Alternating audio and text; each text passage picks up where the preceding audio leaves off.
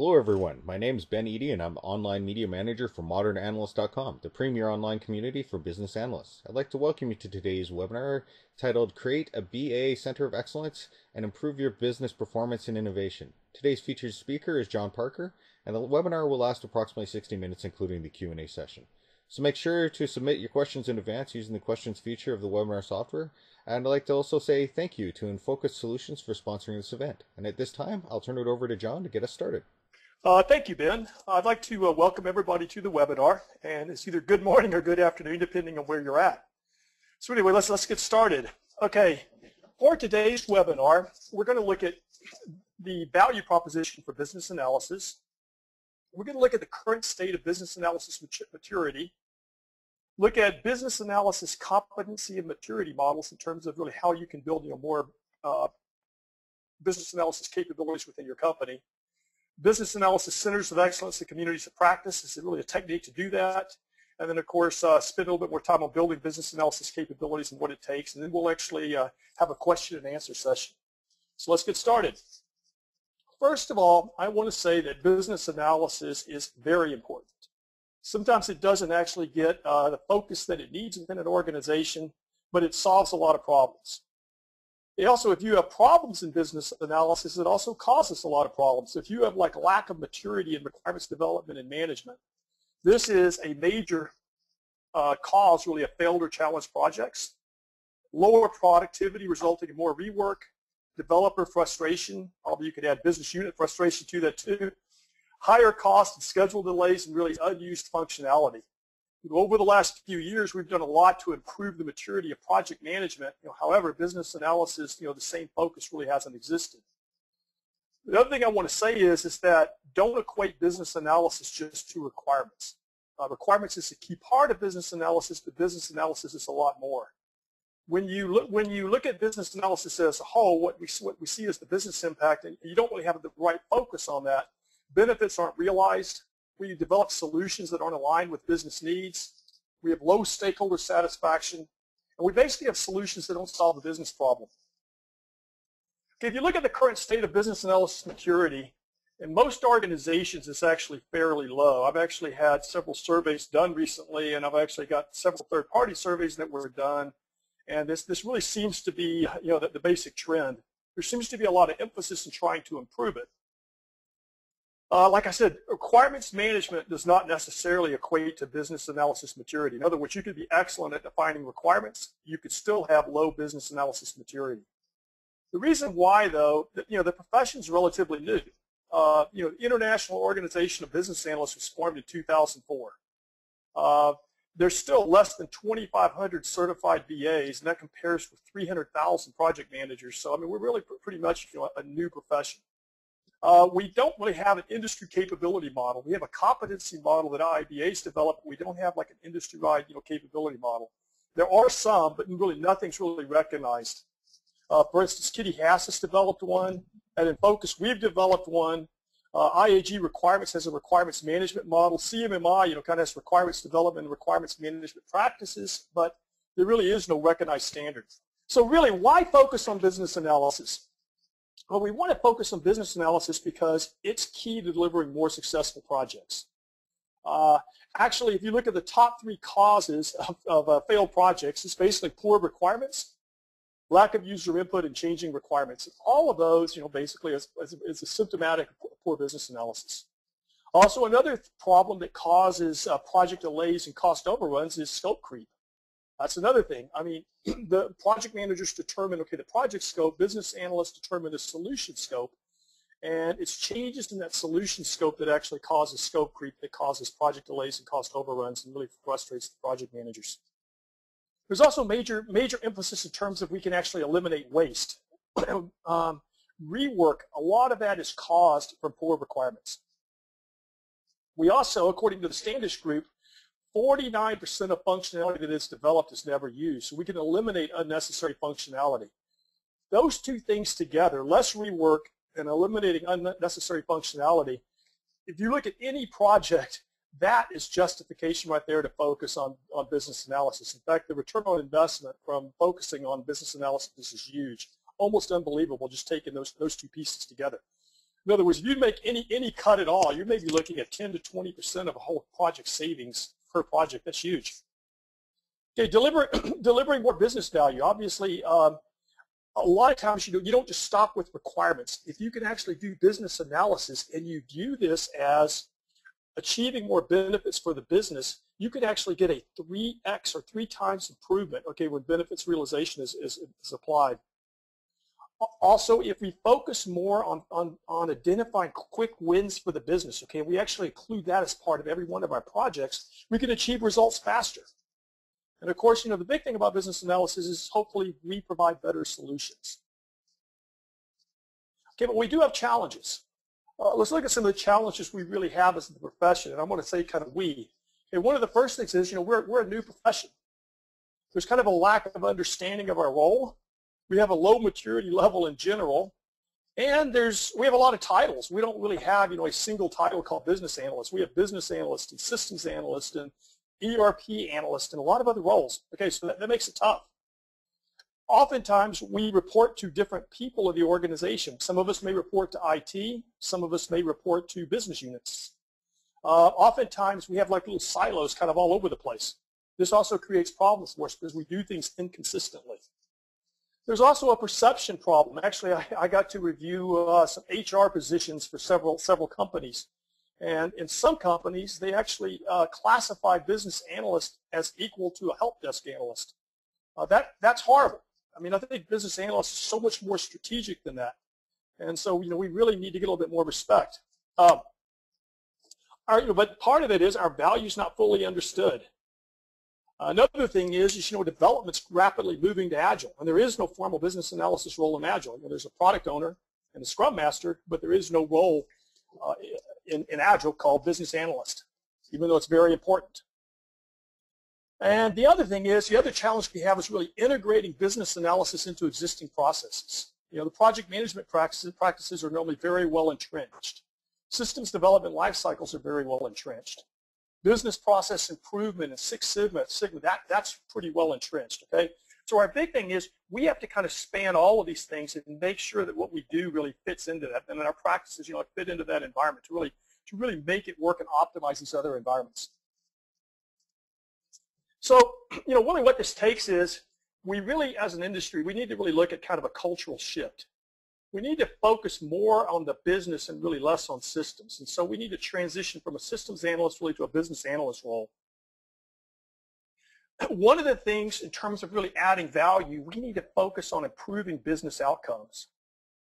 Now, if we can demonstrate that we're delivering business value and we actually help the business measure their results, that, and we can demonstrate quantifiable impact and enable business change, that's improving business outcomes. And we will really be recognized in terms of the industry as really providing you know, much more help to the business. So the big thing is, is work with the business, help them you know, determine the business outcomes they want to achieve, develop solutions to help them achieve that, and it makes a gigantic difference.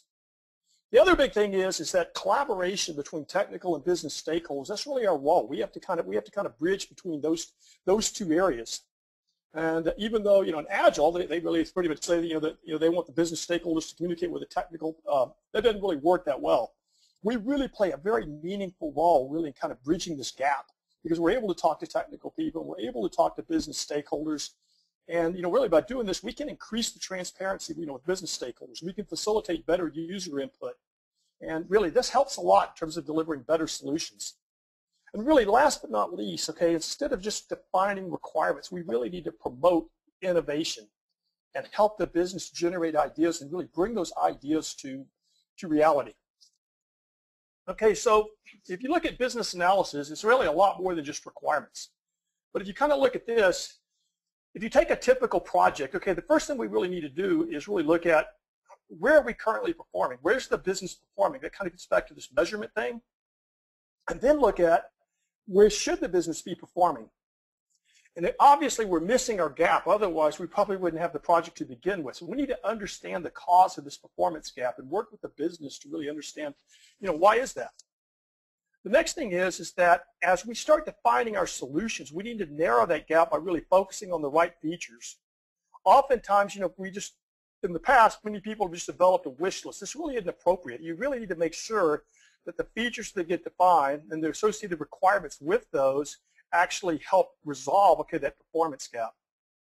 The next thing is, is work with the business and the technical teams to try to shorten the time to value by reducing rework. If we can deliver some of these features early, that's great. If we can work with the business then to maximize quick wins, that's great because both those things are basically delivering more value early. Now the other big thing is, is that at the time that we implement or deploy, we need to really work with the business to try to transition to this new solution. And almost any solution during this transition period, there's usually a productivity drop. So if we work with the business and we help them define good transition requirements and, uh, and make sure that they're prepared from an organizational change perspective, we can really minimize that productivity drop. That's a big thing we can do. And then after the solution is deployed, I mean, really our goal then there is to help the business maximize those realized, those realized benefits. Go back and actually you do benefits realization management. Now, if you look at business analysis along this, okay, there's a lot of different features here, but this, this, is, this is much more, like I said, take, taking this role adds tremendous value to the business. And to get here, you know, like I said, it won't be easy for some organizations, but the big thing is just to kind of have this holistic view. Okay, so if we're going to get there, we want, and we want to build business analysis capabilities, okay, what's needed? First of all, we need to have strategic alignment we need to have we need to be aligned with the business and aligned with the technical staff in terms of actually how they work and aligned with project management, very important. We need to have governance. We need to have processes and practices that we follow, and these need to be, you know, basically, you know, kind of proven practices that work within our organization. We need to have some type of technology really to support us. Obviously, we need to have skills and competencies. And then, I, like I said, like I mentioned earlier, we really need to really work on developing a culture for business analysis within an organization. So these are really the six things, and I'm going to cover these in quite a bit more detail in, the back of the presentation. But let's move on. Okay, if you look at the industry, like I said, there is no capability model. However, there is a competency model. And the competency model is quite a bit different because it's really geared towards individual skills and competencies. So IIBA has a competency model. It's actually pretty good. They have 53 defined performance competencies. And this helps quite a bit. However, if you look at like the previous page, that's really only addresses one of these blocks, you know, just skills and competencies. It doesn't really deal strategic alignment, governance, processes and practices, or technology. So it really doesn't necessarily give us organizational capabilities, but it certainly helps. Okay, so in terms of you know, what I mean by business analysis capability, Let's just let's look at this thing against the capability maturity model. Okay, so the vast majority of most organizations really are at about level one in terms of business analysis. They have a they have a they have an unpredictable process. It's kind of poorly controlled and reactive. Some organizations have pockets that are pretty mature, but if you really look at it from an organization-wide perspective, uh, I think the industry average, from what I could tell, is somewhere around 1.4 in terms of the, the capability maturity level scale just for the whole industry. Uh, when you go to level two, you're really talking about business requirements are defined and managed. And, and, and the key thing there is really business requirements. Uh, you know, IIBA, they talk about five types of requirements. They, you know, they talk about business requirements, stakeholder requirements, solution requirements, you know, and transition requirements. And, and solution requirements, so there's like, you know, two types there. You know, there's basically functional and non-functional understanding each one of these things is very important because you know, the, the business requirements really help you define what does the business need, what type of value do they expect to achieve.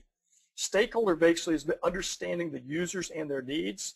Of course, the solutions, what, we, what we're really familiar with, that's kind of the functional and non-functional that we all work with. And then, of course, the transition requirements really helps us then transition to this new solution. Those are key.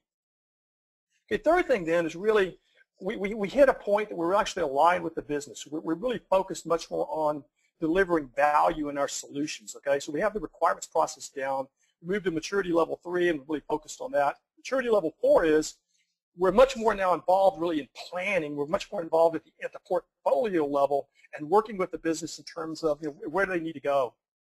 And then the last level five basically is a focus on innovations used to gain competitive advantage. So this is kind of a kind of another way to look at that, you know, with a little bit more detail.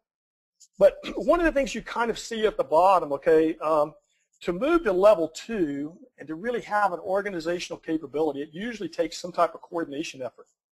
A good way to do that is like a community of practice. Uh, another thing is centers of excellence. And normally that's when we actually move to you know, more, more in the line state, kind of maturity level three. Maturity level four then really takes us really much more, which really much more involved early in projects and kind of in the portfolio. And that's kind of where the center of excellence kind of get, gets consumed by what I would call the enterprise portfolio management office. And then when you're innovating, okay, then you're really, you're moving at maturity level five, okay, you're really working with the businesses to identify areas where they can gain a competitive advantage. So that's, that's key. So this is, this is, um, this is kind of the capability maturity model that we use that we like to see organizations adopt. And of course, then what we've done, we've actually then gone through and then defined each one of these tiers, okay, what are key capabilities that your organization needs to have? Okay, so let's look at how to achieve and, and, and mature, okay, these business analysis capabilities. Okay, a key starting point basically is, is to create a community of practice or a center of excellence. Now, a community of practice is a group of like practitioners that come together to share resources. So, you know, I've worked with a lot of communities of practice, and the key thing is, is that it's really a great starting point. It, it's not an organization structure. It's kind of like volunteer memberships, and you have to kind of get business units to participate.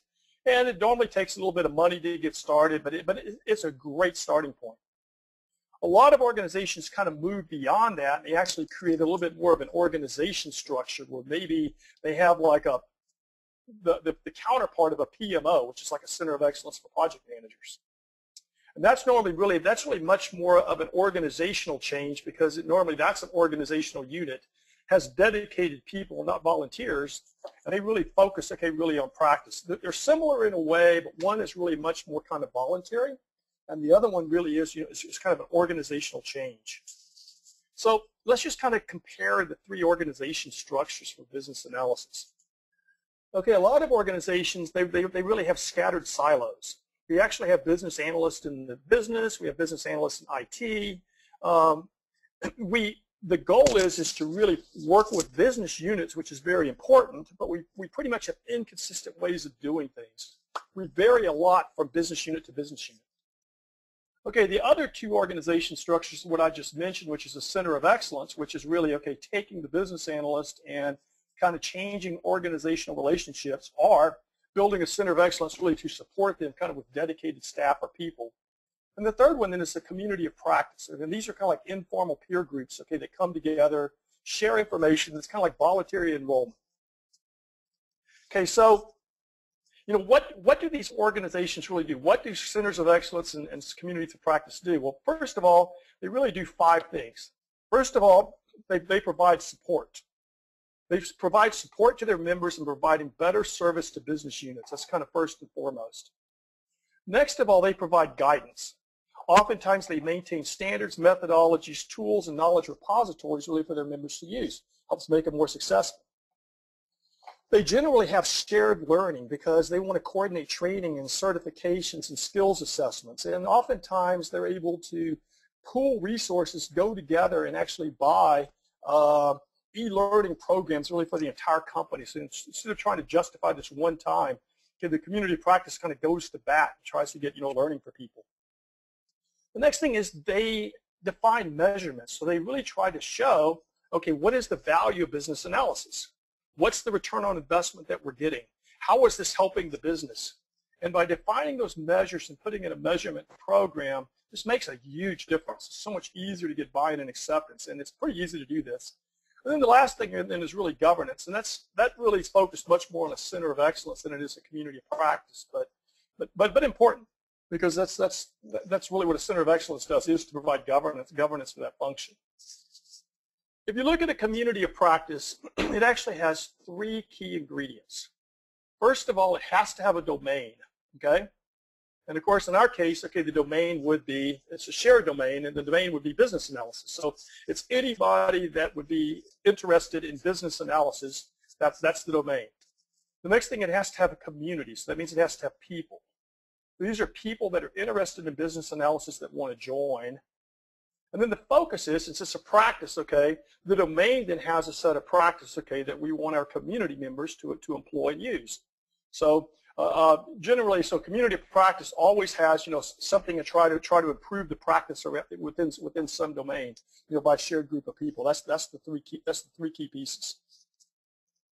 There's actually different types of communities. Okay, one type of community is called a helping community, and the purpose of this community, its major focus is just to help the community members or business analysts really do their job better, helps them solve issues, and allows them when somebody runs into a big problem, it allows them to have you know somebody to talk to. There's a best practice community, and this really allows you to develop and disseminate best practices or guidelines for members' use. So it's kind of like taking um, bits and pieces from members and sharing them and acknowledging that these things are best practices for our company or whatever and going forward with that.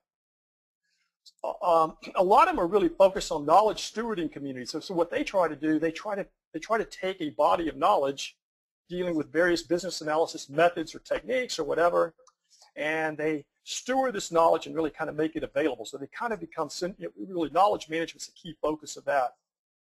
So the last one then are really called innovation communities, and what they're really looking for is breakthrough ideas, new knowledge, new practices. So it'd be like, you know, kind of a, a group of business analysts coming together and looking at, okay, how maybe our company's in the ditch, which a lot of us are because of the economy. So it's kind of coming together and collectively focusing on try to generate ideas and innovation really to bring back to the business that can be used. So that's kind of the four types of communities. Centers of excellence, they normally are organized kind of around different stages of development. Okay, so they almost always start with a project centric. They always start on, okay, we're gonna we're gonna deliver business analysis skills to these individual projects and we're gonna make the project successful.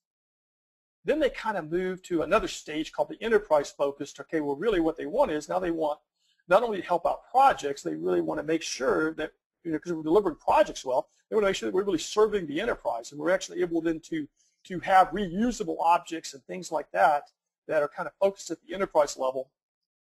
And then the last one then is really, we move really to more of a business strategy focus where basically we're working with the business and focusing much more on the portfolio and planning and other pieces to make sure we're delivering a lot of value. Okay, so uh, one of the things, there's, there's a lot of informational communities to practice if you dig, and I'm going to give you, you know, some of the big sources. Okay, kind of the kind of the leading guru is a guy named Wenger, and I think his first name is Etienne. I can't really, I hope I pronounced that right, but I, um, anyway, you you can see you can see it on the slide. Anyway, he actually has developed several books, and his books are excellent. And so if you're looking at starting a community practice, these are very good. Okay, another person that's done a lot of work is uh, you know Kitty Hass. You know, Kitty writes a lot of blog articles, and she's a great resource for this. But uh, she actually has done a lot in terms of centers of excellence and you know business analysis maturity and kind of taking a strategic role.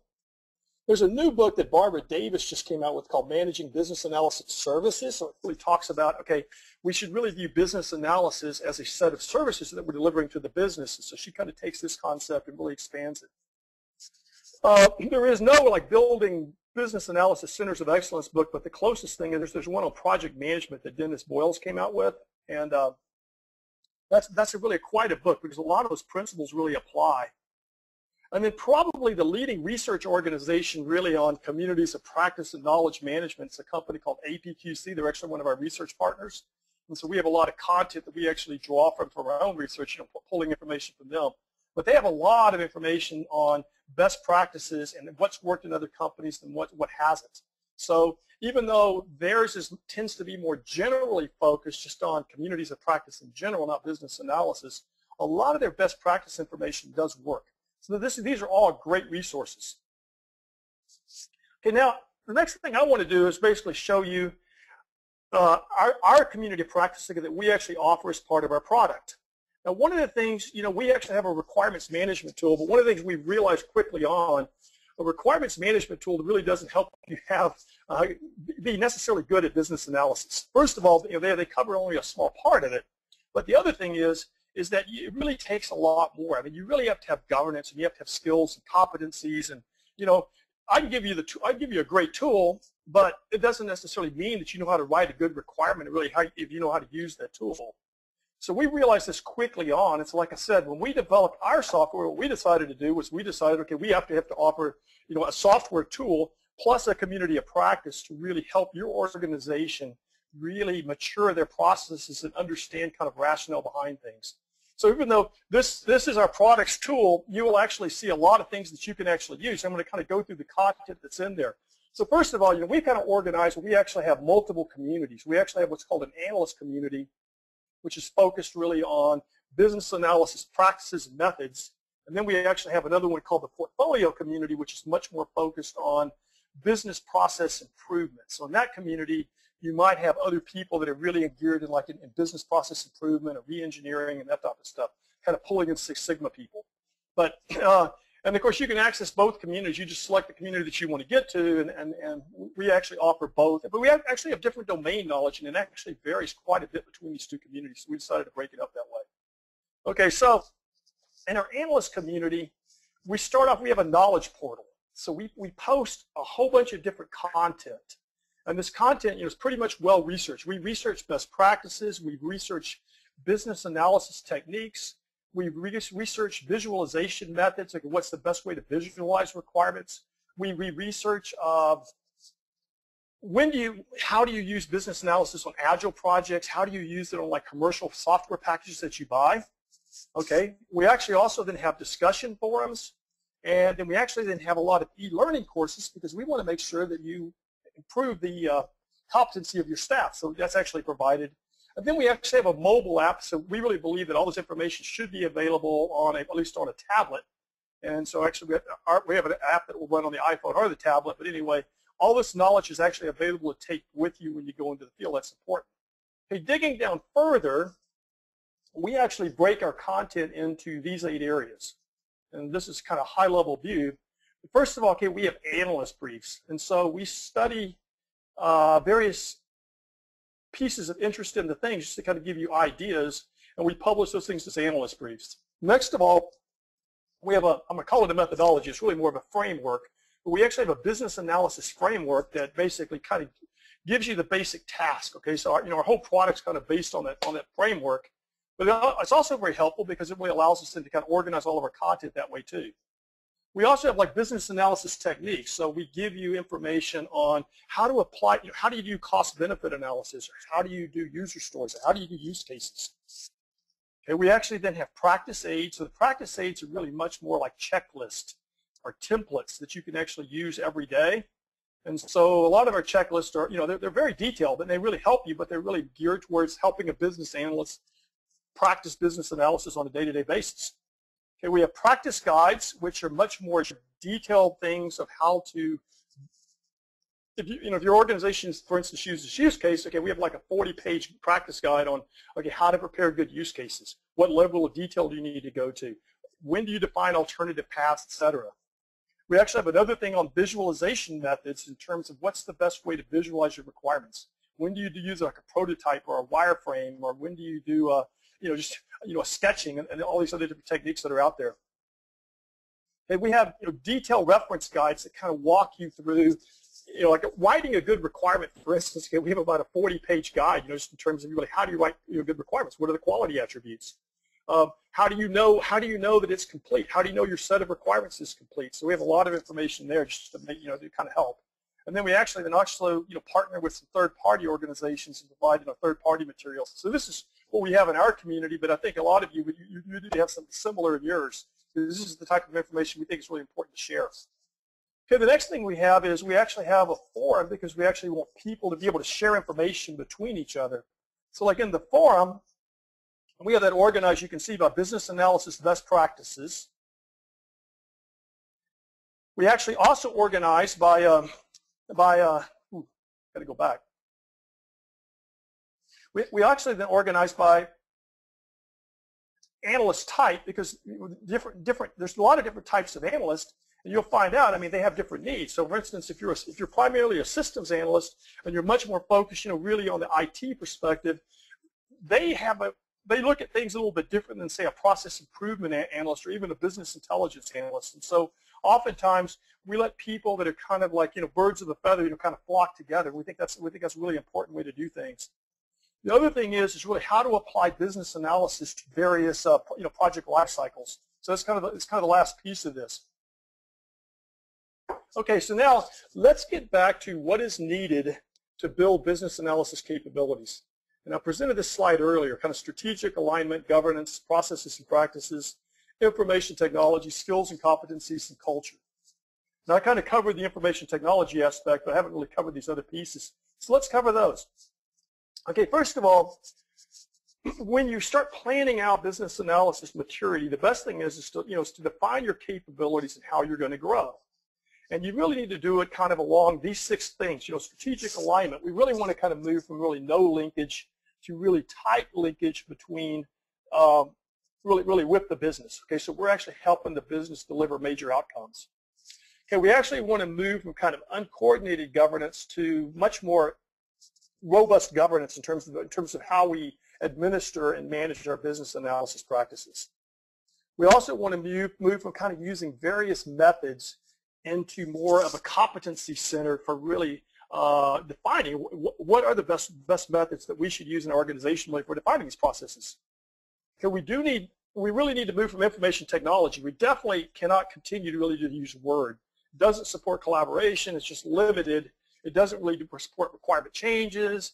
Uh, it's really awkward. So we really need to move off of that into much better tools really to help us perform business analysis. We need to move skills and competencies really where where now it's kind of individual effort. We encourage everybody to kind of do things, but maybe we need to give people a little bit more e-learning and things like that, more capabilities, more training, and hopefully then build internal champions and, and, and share this knowledge. Okay, and the last one then is really this whole whole deal dealing with culture. We want to make sure that we we promote business analysis because you know it's, it's our practice. We want our organization to adopt it. We want to be appreciated. So let's take each one of these things. Let's just kind of walk through them. Okay, strategic alignment. The first thing is is to really define okay a role of a business analyst. It sounds simple, but uh, you do a search on business analysis roles and you'll find out they are all over the place. And I, and I, I went to the uh, IIBA conference in Florida and I, I, met with a lot of business analysts and I talked to them all the time on the phone. And what they do, it varies so much. And so you really need to define, okay, what is a role for a business analyst within your organization? And it may be broader than what you do now, but really what should it be? What's the to-be role? And define that and try to achieve that vision. Very important. Next thing is this business alignment.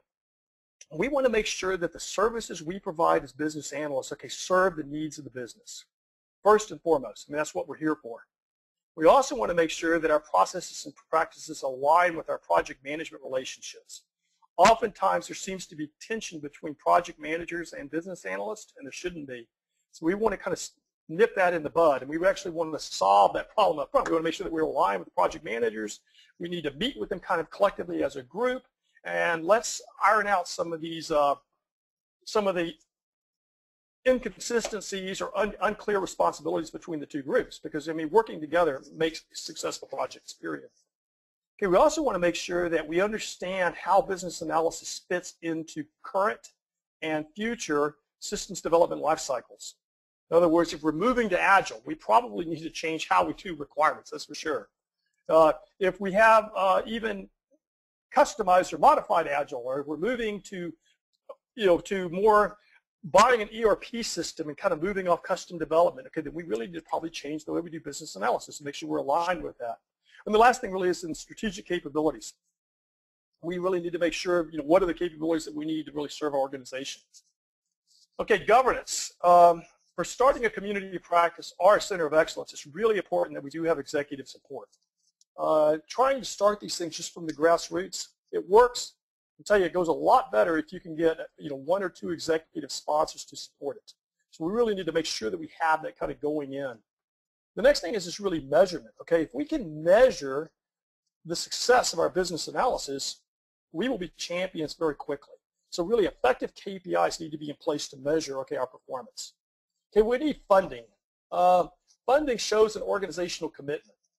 All volunteers, it's not going to last very long. In fact, that seems to be the number one cause, at least from best practice from APQC. If, if organizations aren't willing to put any money into it at all, um, probably isn't going to happen unless you just really have super dedicated people.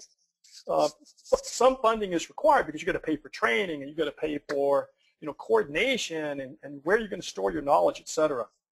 And the last thing is you need to have a clear charter. I mean, what are you, what are you trying to accomplish here? Very important because people need to understand, okay, why are we doing this? And you will go through these, these peaks where you kind of go up and down. So having the charter clearly defined makes a big difference. So the next thing is is processes and practices. Okay, the key thing there is it's you do need to really work on having some type of business analysis framework or methodology that describes the task of performing business analysis activities. Like I said, in our solution we actually provide that, but I mean sometimes it needs to be customized or modified to fit your organization. You need to have practice guidelines. You need to have various techniques that you recommend. You know, like BABOK recommends like 100 and they recommend like 42 in their book. Um, however, you know, we've identified probably about 140. But hope, hopefully organizations don't use every one of those things. You use the ones that fit your organizational needs. You also need to look at, okay, what's the best ways to visualize requirements and what tools should you use? And of course, one of the best things to share is basically example artifacts. Take successful projects, make them available for people to share. Extremely important. Okay, information technology, there's really four things that you kind of need to have here. First of all, okay, business analysis software. It's time to move off of Word, time to move off of Excel. You really need to have some type of tool that really provides support for business analysis processes. Next thing we need to have is a tool that really supports collaboration. I mean, that's what business analysis is all about. We have to collaborate with technical and business stakeholders, so we need a tool to help us support that. Okay, the next thing is, is it would be very helpful to have reusable objects and really a way for us to do that. So if we have a way to be able to store uh, examples of good business cases or examples of good requirements or functional requirements checklist or whatever, things that we could reuse between projects. Okay, we need some place to store that. And then really last but not least, we need a system to help us with knowledge management. And uh, you know, most of the best practices on that is it needs to be kind of knowledge management in the flow. We run into a problem, okay? We need to be able to draw up on our colleagues collectively and find out what's the best way to solve this problem. Okay, so skills and competencies. Okay, first of all, start with a competency model. What you know, like I said, if you don't have one, probably even if you do have one, a good one to use is you know use IIBA's. They've actually identified you know, all these competencies for a business analyst. Start with that. Um, a lot of business analysts may not have all these competencies, nothing to worry about. That's what a competencies model for. It's really to identify gaps in individuals, work with them then to, to uh, complete those gaps and, and have great skills. Okay, learning and professional development, really key. I mean, the COE, it's a lot better if you kind of coordinate learning and professional development kind of from a company focus. If you have too many people coming in or everybody just goes out and contracts individually, you end up with a lot of scattered processes or whatever. So it's a lot better to try to coordinate learning and professional development so that everybody kind of hears the same message. In other words, maybe have some master contracts with certain providers or whatever. Okay, the next thing is certainly is a reference library. Let people share books and third-party materials and, and, make that available to everybody so, this, so you don't have to reinvent the wheel. It's out there. Okay, culture. The culture, I kind of broke this thing into, uh, uh, there's, there's a lot of different aspects of culture, but the first thing is, is make sure that you have a strategy so the executives, and I mean C-level executives, see business analysis as strategic to the organization. Your CIO should be all over this. I mean, if, if CIO, I, I was a CIO before, and I can tell you business analysts are absolutely key to a CIO's success. There's nothing probably more important than that because what's their number one issue as a CIO? They want to align IT with the business. How do they do that? Business analyst. You're not going to do that through infrastructure. Uh, it's, it's, it's basically aligning the applications again, and our delivery of those services with the business, and that's the key part because we're involved in projects. Certainly technical stakeholders. We need to make sure that they view uh, requirements as needed and valuable to them, okay? And it helps them have less rework and less frustration if they view us just as a necessary evil, like, like happens in some organizations, we need to try to change that perception. Of course, business stakeholders, um, we, we have to work with them. And we want to make sure they, they also see us as valuable and what services we provide. They understand our role. Half the times they don't understand our role. They say, oh, well, these are just requirements. We got to, you know, they, they want to get on to, uh, you know, whatever. They don't want to spend a lot of time. They need to really understand that they do need to spend time. So, I mean, really focusing on those and kind of moving on. Project managers is another one making sure they understand our role, and really even we need to understand our own role really as business analysts. So this is kind of the culture. You take those five boxes. There are changes that probably need to be made to every one of those boxes in terms of really, really how to adjust this culture in the organization. And we need to have kind of a cohesive strategy and work together as a group. So this kind of boils down, you, you saw kind of part of this chart earlier. This is a little bit different because I, I, kind of have the middle thing, but actually kind of changed out the bottom, okay? So really what we have to have is, you know, we have to have business analysis skills, proven processes, effective techniques, tools to support the process. And like I said, I, what we did, our particular solution is we looked at this kind of holistically, just kind of a business analysis perspective, we decided to really be successful in business analysis, you need a lot more than just a tool. So what we did, in the bottom, this kind of takes functionality within, within our, our software that we provide, and you can see, I think we, we kind of address every one of these things. We actually give you a community. We give you knowledge that we populate it regularly. We have a lot of e-learning classes, and we actually then have a software tool to kind of support all this stuff and tie everything together. So uh, and then we, we, we basically view business analysis kind of from start to end, kind of starting at the portfolio level, really moving to benefits realization, and we try to give you, you know, information to be successful along, along this whole pathway. Uh, like I said, we do provide a framework. This is our framework. It's called the Requirements of Excellence Framework. It actually has 10 task groups. And if you look at it, it's very, very close to BABOK, which really isn't a framework. It's really just you know, body of knowledge. But Ours is really a much more, a little bit more task-oriented, and a lot of these tasks go on concurrently. What we do is, each one of these tasks, you know, we have like a big write-up of how to do things. So a good example would be uh, assess, assessing master data impact or assessing the IT service impact. We provide a lot of detailed information and checklists in terms of how to do that. So that's really key in terms of really kind of going forward. So really the next steps is, you know, please visit our website. We do, we do publish a lot of information and we do make things available. Um, actually, this whole presentation will be made available. So, you know, I, I know we oftentimes get that question. Okay, it will be made available. We'll be emailing it to you. We actually have some extra information we're going to be sending in addition, kind of dealing with business analysis maturity, kind of our research there. And uh, I do encourage you really to look at our product. I think we, do take a little different approach. Like I said, we're clearly focused on business analysis. We're clearly focused on helping you be successful. And uh, we provide a lot more than just a tool. Now, I can tell you a tool is not enough. You do need a tool. Uh, you need really an approach, and you need to basically focus on, like I said, building your skills and governance. And we try to help you along that whole pathway. So, Andrea, I'm going to turn it over to you and see if we have any questions and answers. Sure thing. Um, we do have a bunch of questions, so I'm going to start ask, asking them to you. We might not get to all of them, though, so um, just be aware. My first question is from Humphrey, and he wants to know, how do you measure the BA capability model? Okay, measuring the BA capability model basically is, okay, first of all, you have to define what the capabilities are. So you have to have a BA capability model to begin with, okay? We actually do provide one, and actually some of the stuff that you'll actually be getting from us is, is really how to measure. But the main thing is, is that you measure business analysis capability just like you measure systems development capability. There's actually, uh, you actually go in and you actually do assessment of projects, and you do assessments of, of uh, of, of, various artifacts and, and you and you can and you validate these things just to make sure you know kind of kind of measuring okay you know where are you performing against really where you should be.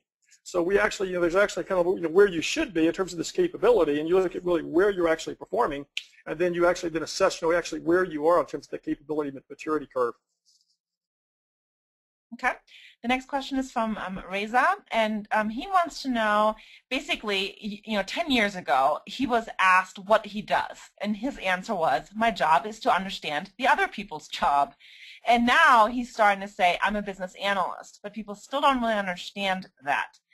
And his question is, what is the best way to make the industry aware of the BA role? I love that question. Uh, it's really true. Okay, what we have to do there is, number one, we have to define the role ourselves, okay? Uh, when I was, like I said, when I went to IIBA's conference, actually, you know, Building Business Capability Conference in Florida, I, I talked to so many people. They're so great just kind of interaction one-on-one in person versus on the phone. It was wonderful. But anyway, it, it's amazing. Our role is so undefined, and even, even they haven't really clearly defined our role. So number one, we really need to define our role we need to try to organize in a community of practice, and we need to reach agreement on what that role is within our organization and continue to refine it. Because if we can agree upon ourselves, that, that's the first point. Then the next step is is then to develop, okay, communication strategies in terms of how we're going to communicate that role. So first of all, we need to get that role into the hands of the business. We need to go meet with the project management uh, office, if there is one, and, and, and, say this is the way we view our role. We want to make sure that you agree our role. Let's look at overlaps. Uh, let's go meet with some development teams. Let's make sure they kind of understand our role and how we fit into a project. So it is a process and it does take time. But that is extremely important. That's really the place to start. You start with defining your role, reaching agreement in the business analysis community, and then actually communicating that plan out. Great. And here's one from Art. He says, um, we have some business units who use just BAs and others who have BSAs who do a handoff to BAs. He'd appreciate your comments on the benefit or lack thereof for having two distinct roles. Great. Another great question, and you see that all the time too. Okay, basically, those two roles really need to merge. Um, a business systems analyst and a business analyst, okay, one interfaces more with IT, so the BSAs, oftentimes they're more associated on the IT side. The business analysts are more focused on the, the business process side. What happens is you have a lot of redundant tasks. You have frictions when that occur. So I would really totally recommend that this would be a great thing number one, start a community of practice in terms of uh, getting both those groups to work together, and then work long term into organizational changes that need to be made, okay, in terms of kind of kind of merging those functions together. That will definitely take some time because there's, there's there will be some politics involved there. And I'm not saying, okay, the BA should either report to the business or IT. That's another, that's another decision that should be made. The main thing is it really should be consistent. And the big thing is just to get these people to work together and really realize that working together, okay, they'll actually achieve a lot more. But really, having an extra handoff like that is really, really awkward because now you have you know two people defining requirements. Uh, you have two people kind of performing business analysis function. Understand the BAs are probably much more on, on the process side, but the other ones have to define the requirements for this, and so it really does work better if they're actually just kind of one group. And hopefully the uh, BSAs get, get converted into BAs that they actually that is kind of spokesman for the business and for IT. Okay. Here's one from Kevin. He says, um, generally, at what scale is the BA COE an appropriate investment? And then the second question to this is, how many people in BA roles within an organization do you need to do this? Hmm. Okay. Um, you can start a C. Okay, really, what type of investment is okay? The investment, uh, uh, you know, so the the investment is in terms of like the number of number of people, you can start off very small. I mean, you could actually have a COE with, with four or five or six people. And actually, there's a lot of economies of scale of doing that because you, uh, you're having consistent practices, you gain efficiencies, and you're actually able to use kind of a scarce resource uh, more efficiently by doing that.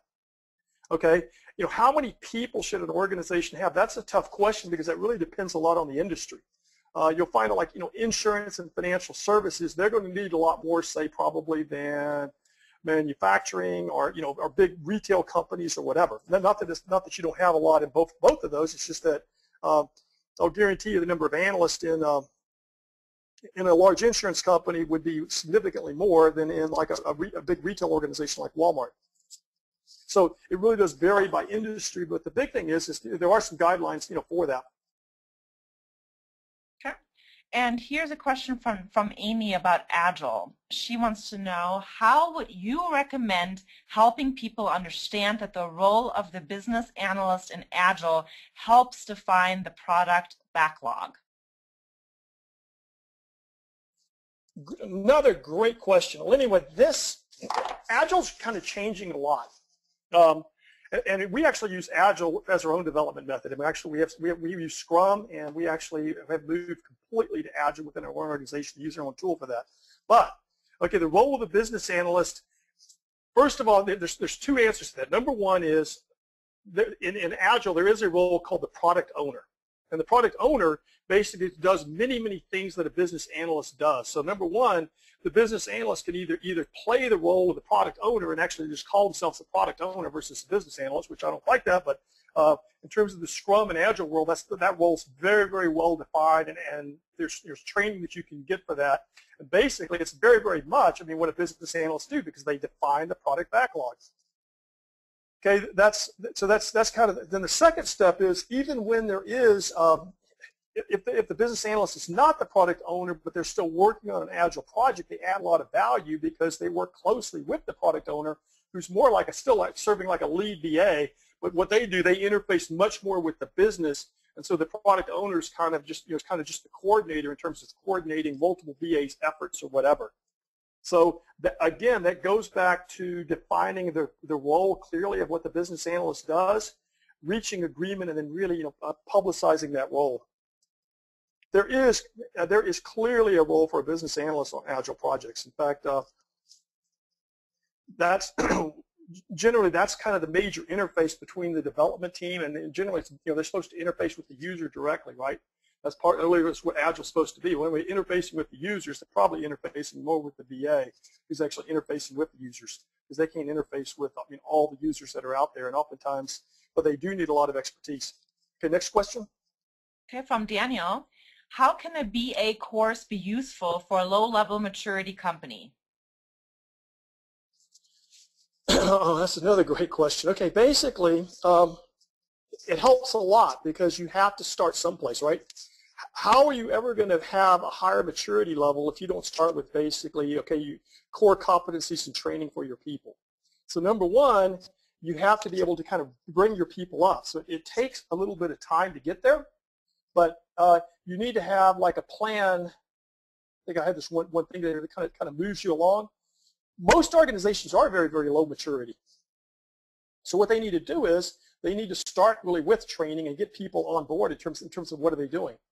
So, so that's even more appropriate for uh, low maturity organizations than it is high maturity organizations. If you look at it like here, if you look at the thing called skills and competencies, right now it's kind of individual effort. We don't, we don't really have you know, common ways of doing things.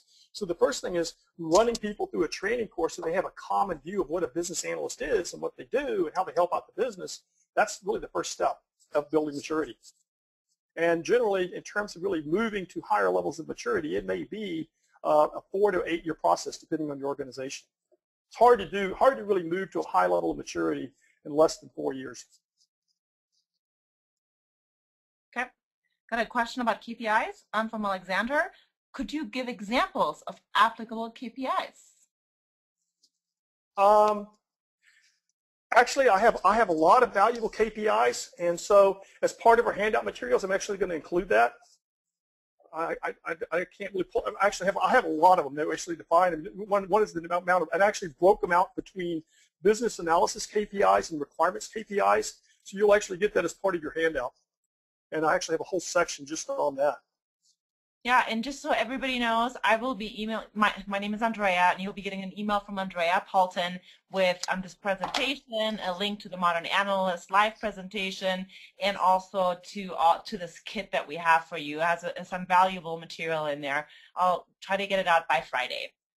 Um, to continue the Q&A, um, I have one from Janelle. She wants to know, how do you measure BA success, and how do you measure BA performance?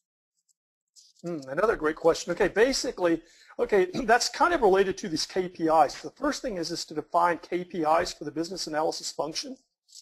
And there are a lot of KPIs, like I said, I'm going to give you in terms of the kit. But the main thing is, is to define the KPIs that are appropriate and set up a measurement program to actually measure that success. And you measure the success depending on the KPI. Some of it's measured monthly, some of it's measured at the end of a project, some of it's measured you know, after the project's been in live. And some of it involves uh, having a, a, technical satisfaction ratio and a business satisfaction ratio. And certainly one of the best measures is, is uh, work with the business to define uh, business outcomes they want to achieve. Measure those business outcomes after the, after the solution went live. If you help them, if, if, if they achieve those outcomes, I'll guarantee you the business analyst was a big part of that. And, and actually, you, you, if you start with that, helping the business define their outcomes, measure their outcomes all the way through the process, um, that's probably one of the best ways really to measure the success of the business analysis function. I actually have some very specific just for BI, you know, but that's probably the best. Measure the success of business outcomes.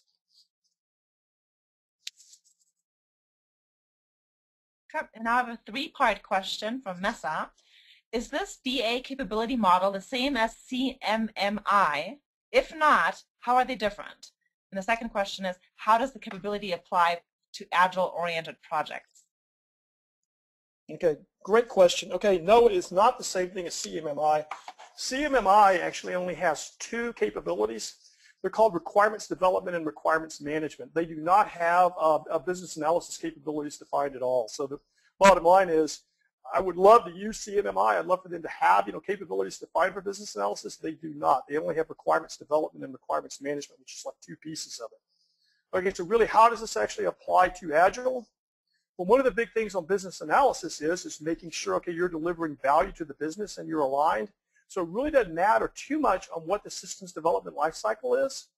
Um, capabilities are needed regardless of what the life cycle is. They're actually needed, you know, whether you buy packet, you buy software, you outsource your development, you have agile, or you have, you know, waterfall development. So really the KPIs that are defined for business analysts apply across all, all, all development backend life cycles.